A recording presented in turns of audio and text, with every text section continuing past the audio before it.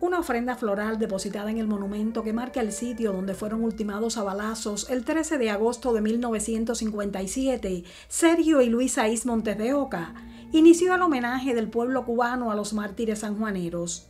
El acto nacional por el aniversario 65 del vil asesinato se realizó en el Cine Meca del Pinareño municipio, ocasión en la que los escritores y artistas tributaron su arte a los héroes. En las palabras centrales, Rafael González Muñoz, presidente de la Asociación Hermanos Saís, destacó que estos son tiempos de solidaridad y de estar más cerca de las esencias de la patria.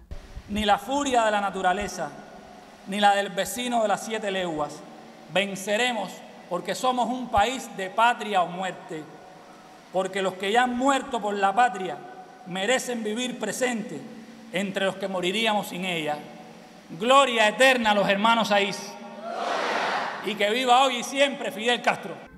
Acompañados por Roberto Pérez Jiménez, jefe del Departamento de Organización del Comité Central del Partido, y por las principales autoridades de la provincia, los jóvenes escritores y artistas visitaron la tumba de los hermanos Saís en el cementerio municipal y la restaurada Casa Museo, que atesora y perpetúa una página gloriosa de la historia de Cuba.